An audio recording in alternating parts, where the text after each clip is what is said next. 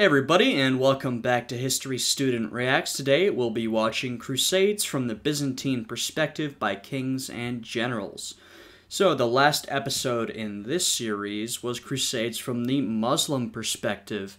And I don't want to repeat myself too much. You know, if you want to see my perspectives on that, go and watch that video, the last one in this series. But I found it very interesting to get a different perspective on the uh, Crusades, which you know, speaking from my experience living in the Western world, I usually get from a sort of Western Christian uh, perspective. That's usually how the history is shown to me. Um, and so I found that very interesting and entertaining. Uh, and today we're getting the Byzantine perspective, which I suspect will also be fairly different from the Western Christian perspective that I'm more familiar with. So yeah, I'm excited to jump into this one. Uh, if you guys end up enjoying this video, I'd appreciate it if you would check out my Patreon, which is linked down below. And without any further ado, let's jump into this reaction.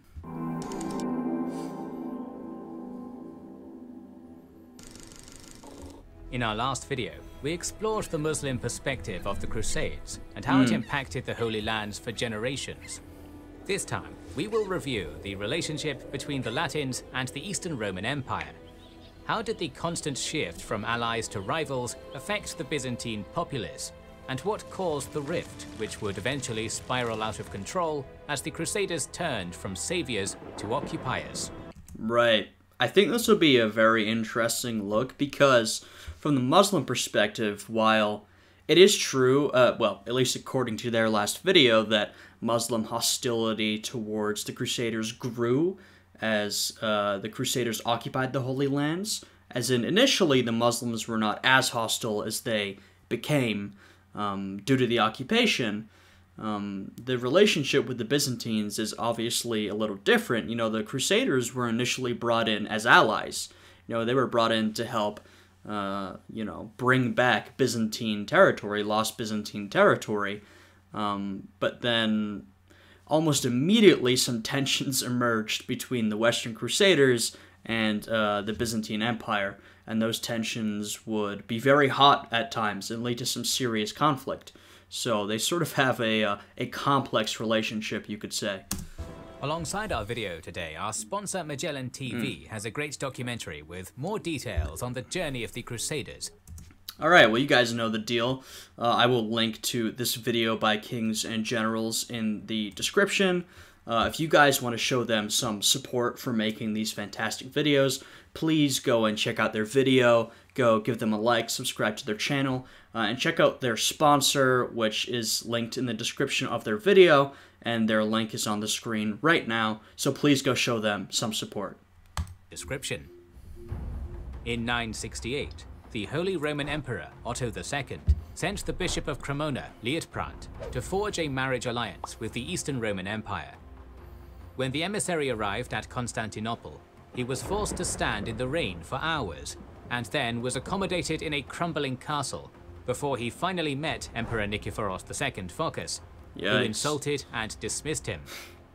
Liutprand was not even allowed to purchase the famous purple cloth since it was considered too precious for barbarians.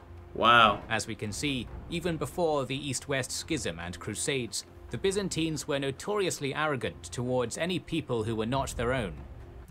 Yes, um, that's a very good example, and it gives us a very good look at how the Byzantines viewed themselves and everybody else. So, you know, the Byzantines looked at themselves as the inheritors of the legacy of the Roman Empire, and I think fairly. I mean, they were the Eastern Roman Empire. The West fell, basically, um, and the Eastern Roman Empire was all that remained, though, of course, um, you know, early on, following the fall of the West, the Eastern Roman Empire would reclaim a lot of the lost territory. So I, I think fairly the Byzantines viewed themselves as the Romans, you know? They were the Roman Empire, or at least what remained of it. And so they held a lot of that Roman arrogance, I think we would call it.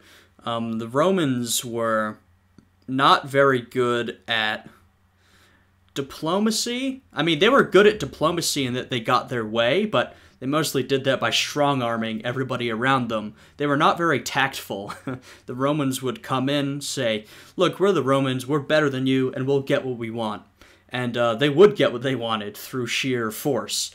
Um, the Byzantines were, I think, quite similar even after hundreds of years of decline. Um, we can see how they treat um, the Western Europeans. Now, of course, at this point, we have the Holy Roman Empire uh, in you know Central Western Europe, and so that is sort of a competitor to the legacy of the Romans.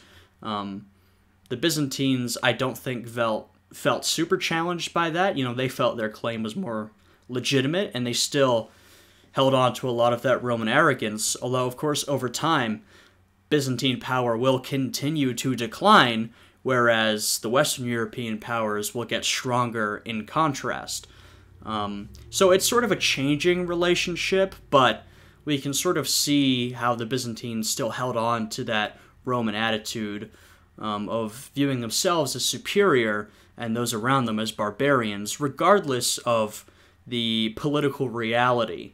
Um, though, and you know, I'm not too knowledgeable on this, I'm sure those attitudes would change as the Byzantine Empire continued to decline over the years. An attitude which was sure to sour the relations with potential military or trade partners. But the relations between the East and West were particularly complicated, as both sides saw each other as a necessary evil. Mm. Pragmatism led to compromise, but in these conditions, time and proximity brought out the worst in both parties. For centuries, Catholic and Orthodox communities had very limited contact, as both were mostly concerned with their regional enemies. But the Norman and Seljuk invasions led to a new level of desperation for the newly founded Komnenian dynasty, which opened a bridge between these worlds. Luckily for us today, the five major historians who characterized this era were very talented writers with unique access to the state, who covered the Crusader period extensively. Great. Anna Komnene, the daughter of Alexios, John Kinnamos, a bureaucrat and confidant of Manuel I, Nikitas Choniates, a judge and civil servant, Michael Psellos, a savant and counselor, and finally George Acropolites, a chancellor and commander. I love the presentation of the sources or the historians we're going to be looking at. Uh, I really enjoyed that in the video on Muslim perspectives that, you know, we looked at individual Muslim chroniclers and historians and we looked about how their culture, where they lived, and their personal experiences sort of explained uh, the history that they wrote, uh, their opinions, and their individual perspective. Um, I thought that was really insightful. And so, yeah, it seems like we're getting something similar here, which uh, is really great. The first major challenge that Alexios Komnenos faced was the Norman invasion of Robert Guiscard in 1081, which had three major implications. Following the defeat at the Battle of Dyrrhachium, the Roman manpower was severely depleted, forcing them to rely on mercenaries. As a direct result, Alexios used diplomacy and cunning to strike a deal with Venice, who agreed to act as the imperial navy in the Adriatic in return for exclusive trading rights. Yeah, we were just talking about how, you know, the Romans often just used pure force instead of diplomacy, at least when they were at, you know, their height of power. Alexios Komnenos is basically the exact opposite of that. You know, he was very aware, he had to be, that his empire was um, at a very vulnerable state. Um, he did not have that much manpower at his disposal, and so Alexios was very cunning and very talented uh, in his ability to use diplomacy to solve issues that would otherwise be solved through direct military conflict, which he knew he couldn't afford. And so, what we've seen so far from Alexios uh, is that, you know, he is very skilled at diplomacy um, he has to be, you know, for the survival of his empire. Additionally, Alexios bribed many Normans, who deserted and joined his army and court. The war was won with the Battle of Larissa, but suddenly the Byzantine populace found out they had more contact with Western Europe than ever before.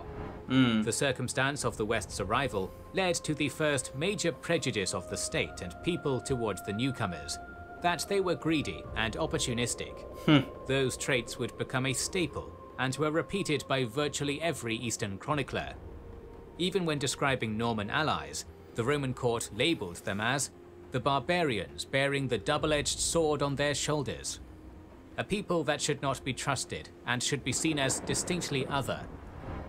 The yeah, and this is um, one part of that Roman tradition that I talked about. I mean, the Romans would always refer to those other than them, with a few exceptions, as barbarians.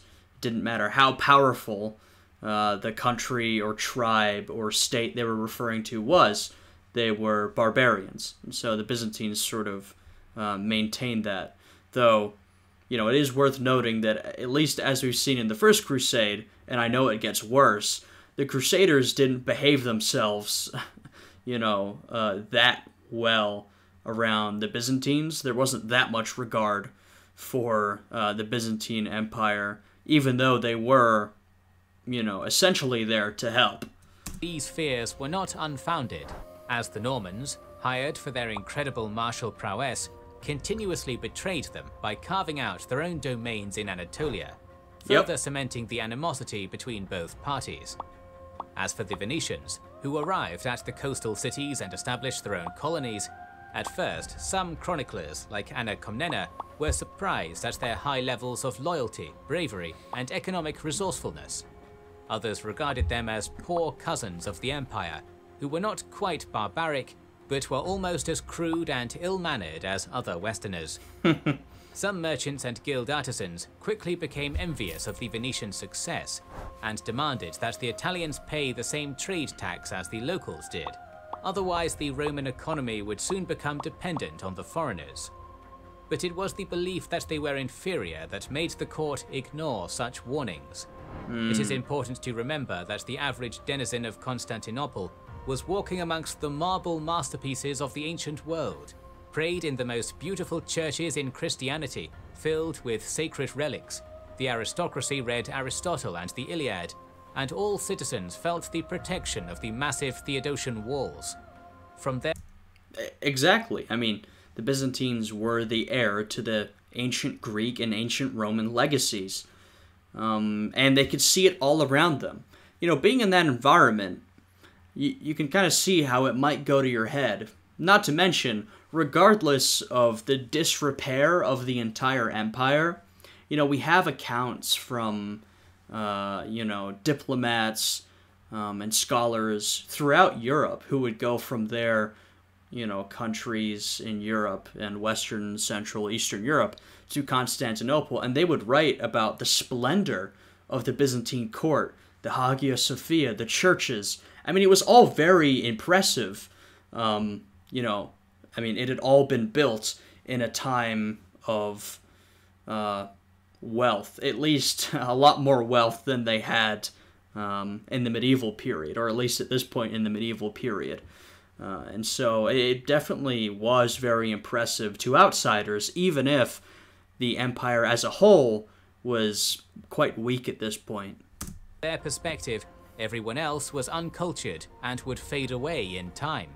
Hmm. Traditional Roman warfare proved inefficient against the Seljuk threat, so Alexios used his treasury, cunning agents and relics to attract the attention of Western Europe, which was catalyzed by the preaching of Urban II and Peter the Hermit.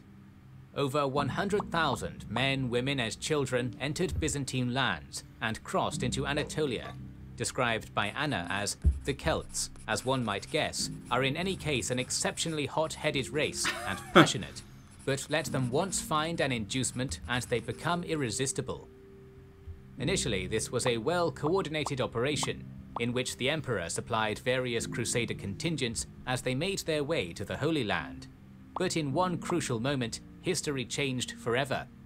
Alexios was firmly in charge, but as he made his way towards the siege of Antioch, he was met by one of the Crusader leaders, who deserted and told Alexios that the situation was hopeless. It seemed that the First Crusade was over, so the army turned back. But once they arrived at Constantinople, news arrived that the Franks had captured the city and kept it for themselves. Wow. That is the way of all the barbarians, their mouths gape wide for gifts and money, but they have no intention whatever of doing the things for which the money is offered. Hmm. Envoys were sent, demanding that the Latins keep the oath they swore and return the great city to the Empire. But in response, the barbarian lunatic, in his frenzied rage, absolutely refused to listen. He could not bear either the truth of these words or the frankness of the envoys, and immediately reacted in the Frankish way. Glorying in his own boastfulness, he babbled that he would set his throne high above the stars and threatened to bore with his spear point through the walls of Babylon. He spoke with emphasis of his might, mouthing out the words like a tragic actor, how he was undaunted, how no one could withstand him. He confidently assured the envoys that whatever happened, he would never release his grip on Antioch, that all Romans were to him nothing more than ants, the feeblest of living things.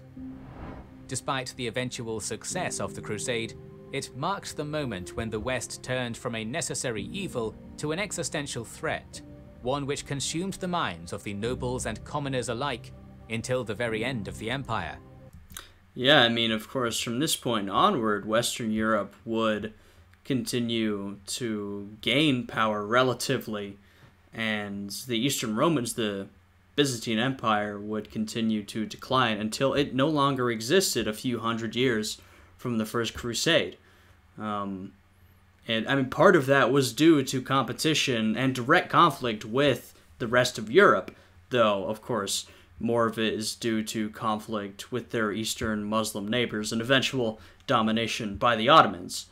So it, it is a very complex relationship, and you can just hear in all the Byzantine accounts of uh, the Franks or the other Europeans, the uh, the condescension, the low esteem in which the Byzantines hold the rest of Europe.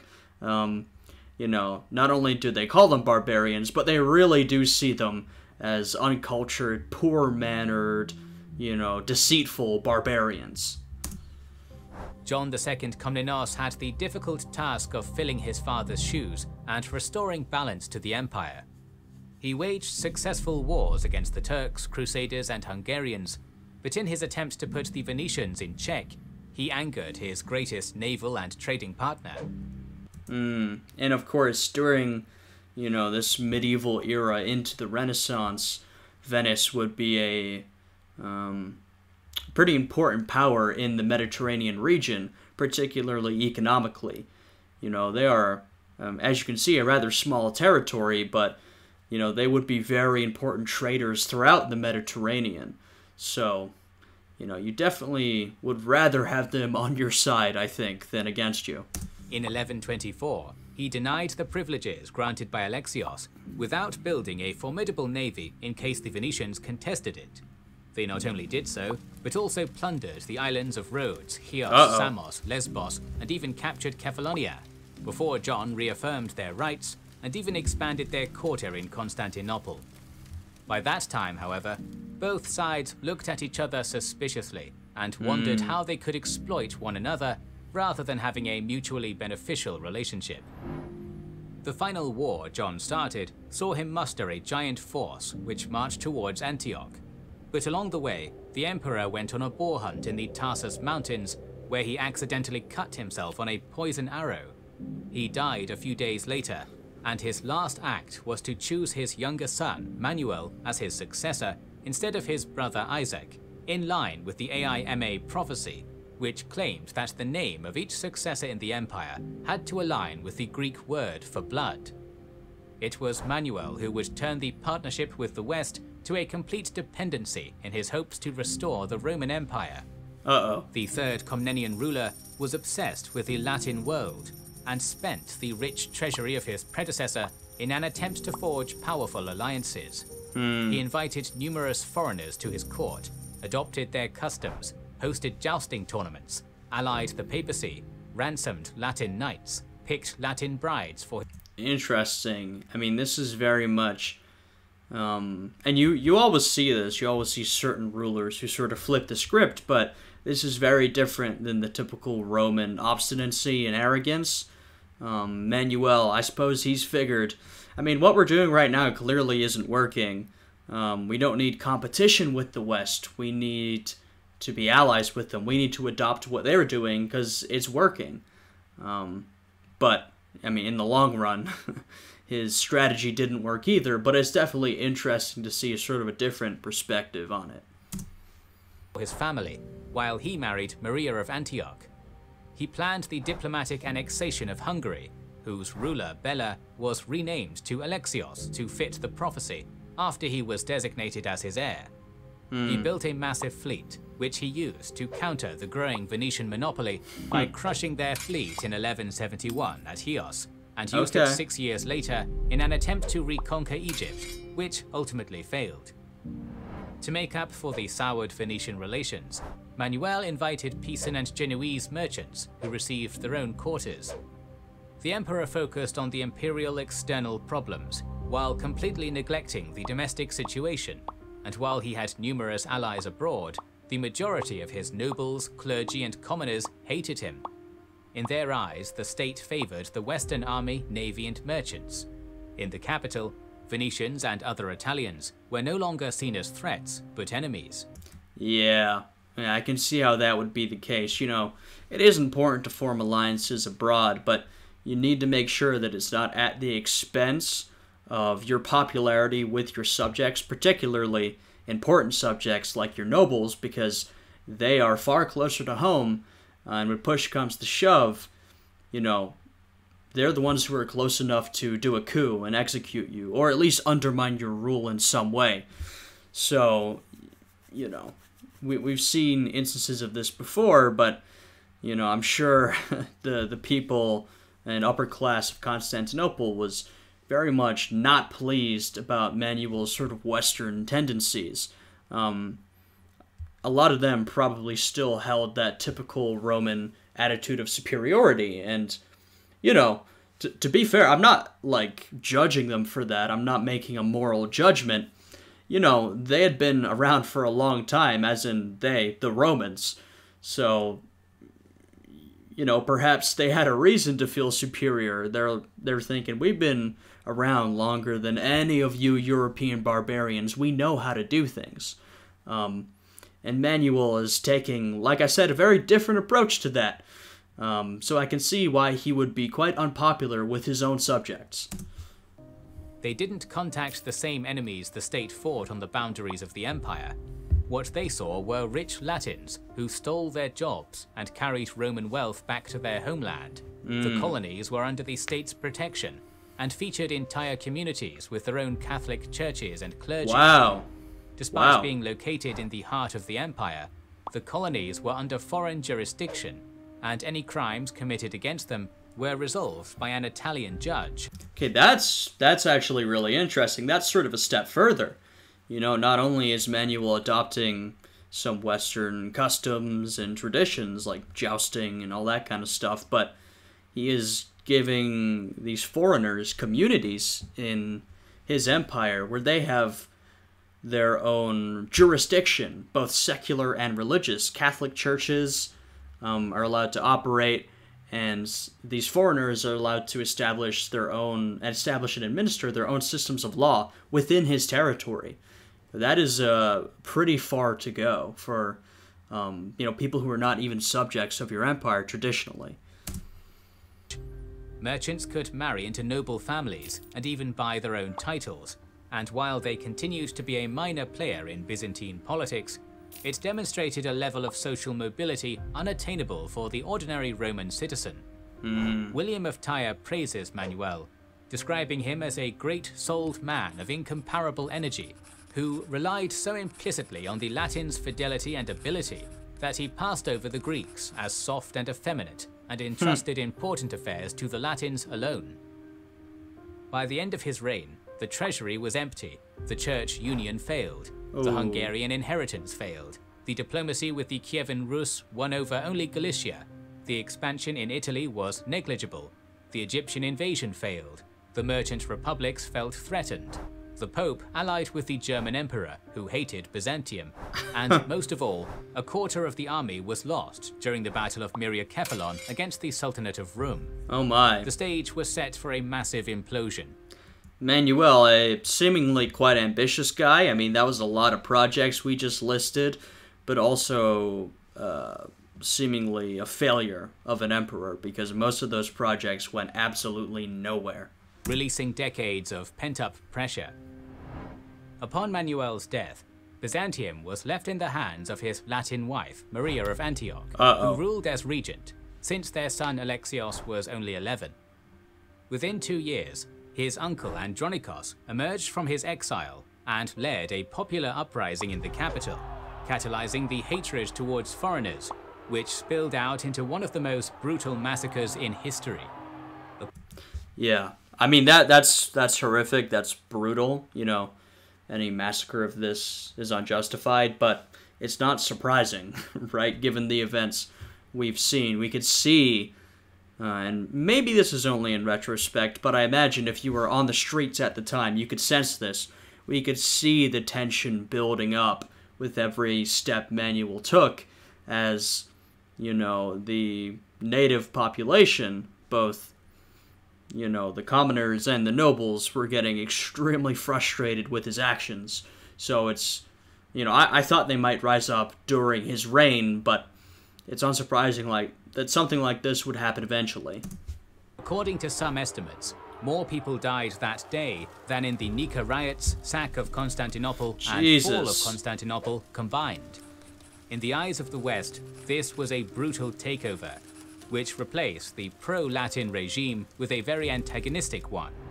The Holy Wow. Roman Empire That's, I mean, that's even more brutal than I expected. Then those, if that's true, those are some big numbers. So, yeah, I mean that's uh, that's a horrific event. threatened with invasion. Hungary conquered much of the border territories, and a new Norman invasion sacked the second city of the empire in a devastating manner. 7,000 were slain, relics were destroyed, women were raped, and the invaders were seen urinating on the streets. Jesus. In words of Nikitas Choniates, between us and them, the greatest gulf of disagreement has been fixed, and we are separated in purpose and diametrically opposed, even though we are closely associated and frequently share the same dwelling. Their inordinate hatred for us and our excessive disagreement with them allowed for no humane feeling between us. Hmm. The following years would see the empire crack as pretender after pretender fought for the throne. Eventually, a 21 year old pretender would make his way towards the assembling Fourth Crusade and make ridiculous promises of riches and church union if they would give him the throne. Hmm. The Crusaders and Venetians accepted and accomplished the task, only to receive orders and empty threats before the pretender was assassinated. Once again, the pendulum swung as a pro Western regime was replaced with one that used them and vowed to destroy them. Yeah, I mean, this is, you know, you can just see the decline of the Byzantines in real time. It just continues to get worse and worse for them, and they continue to grow weaker in comparison to their Western counterparts. Uh, and now, you know, they're sort of under the thumb of their uh, Western neighbors who really hold a lot of power over them at this point. which led to the 1204 sack of Constantinople, an event which some contemporaries describe as the fall of Troy. In the beginning of his description of the sack, Choniates references Solon, an ancient Athenian statesman. He reveals how Solon warned of the rise of tyranny, recognizing that it was easier to eradicate an emerging evil in the very beginning and thus prevent it taking root than to cut it away and destroy it after it has grown and hmm. become very strong. When Solon's protestations were ignored, he warned that the Athenians would not be able to blame the gods for their future suffering. He continues to paint a savage picture where, maddened by war and murderous in spirit, boasting terribly, barking like Cerberus, and exhaling like Charon, we recommend you check out our video on what was lost during the sack to get a sense of how damaging these events were, not only to the Byzantine state, but its identity. Yeah, I mean, I don't know too much about this time period, but of course, even I'm familiar with uh, the sack of Constantinople and how much of a major uh, and damaging event it was to the Byzantines. Um, you know, extremely brutal. Um, you know, very, like I said, damaging both in material terms, um, property uh, and people, you know, lives lost, and in terms of the Byzantine psyche.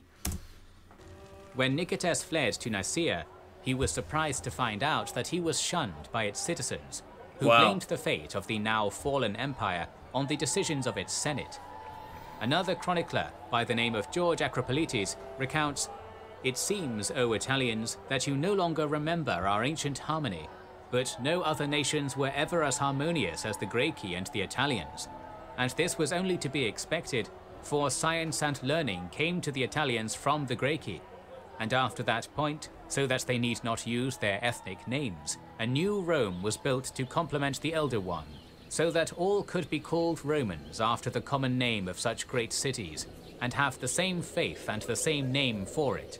And It's sort of really interesting getting a look at him talking about ethnicity in a way that we would recognize, sort of, because a lot of times talk of ethnicity and nationality is very different than we would interpret it or non-existent in this time period. And so it's really interesting to hear him talk about how the identity of Roman was a sort of unifying identity that unified, you know, the Greeks, who are us, the Byzantines, and the Italians, who are, you know, you, the Westerners.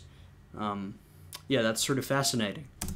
And just as they received that noble name from Christ, so too did they take upon themselves the national name. And everything else was common to them the magistries, laws, literature, city councils, law courts, piety itself, so that there was nothing that was not common to those of the elder and new Rome. Jeez. But oh, how things have changed. the following five decades were difficult, but the hmm. new generation learned to live in the shattered remnant of Byzantium. Recall Yeah, I mean, look, it's, you know, looking at Byzantine history is, I mean, there's disaster after disaster, but it exists, it survives for an extremely long period of time, and so they just have to learn to live with it, you know? There's no um, escaping. They have to live with the world uh, that is being created by new powers arising, you know, new powers growing stronger around them, their neighbors taking their territory. They can't do anything about it. The Byzantines just have to learn to live with it, and they do live with it for um, a very long period of time. recalling its ancient glory days and despising what they now called the humiliated generation. The new Latin states were forced to keep almost all of the old customs, as Wow. the two were forced into an uneasy alliance against Bulgaria and other threats. Eventually, Constantinople was reconquered in 1261, but the scars of the last two centuries would never heal. Yeah, I mean, I think it's pretty commonly stated, or at least I've heard it, that the Byzantines never really recovered from that sacking of Rome. You know? I mean, they survived for a while afterwards, but they would never truly recover. Future crusades bypassed Byzantium, choosing to directly sail to the Holy Lands, until the arrival of the Ottomans. Ironically, the Crusades of Nicopolis and Varna saw most of the Catholic world unite to aid the Romans, who worried more about the Latins than the Sultans. Hmm. The latter crusade was on the brink of saving Constantinople before the King of Poland, Lithuania, and Hungary died in battle. This momentary distraction allowed the Catholic Constantine XI to retake Athens, but only a few years later, he would witness the end of the Eastern Roman Empire. Our mini-series on this topic will continue in the near future, so make sure you are subscribed and have pressed the bell button to see it. All right, and there you go. The end of the Byzantine Empire. Um, we covered quite a long period of time in this one. It was a little different from the Muslim perspective video, um, different, uh, but obviously in substance, but also in how it was sort of organized. But it was still very uh, interesting. You know, a lot of insight into the Byzantine position and Byzantine perspectives, which I find really fascinating. And we made it to the end of the Byzantine Empire, um, or sort of almost the end. Um, the conquest by the Ottomans, and while it is a shame that such a long standing empire uh, fell, you know, all empires fall eventually, and it is a little refreshing to see the Ottomans show up and to have an actually powerful empire back in the region for once. Um, they can stand up to its neighbors. Uh, in contrast to the Byzantines, who had been basically floundering for hundreds and hundreds of years. Of course, you know, the Ottomans would end up in the same position um, not that far into the future. Um, so yeah, really fascinating video. Uh, if you guys enjoyed this one, I'd appreciate it if you would check out my Patreon, which is linked down below. Uh, leave a like on this video and hit the subscribe button. I hope all you guys are having a good day today, and I will see you all again next time. Goodbye.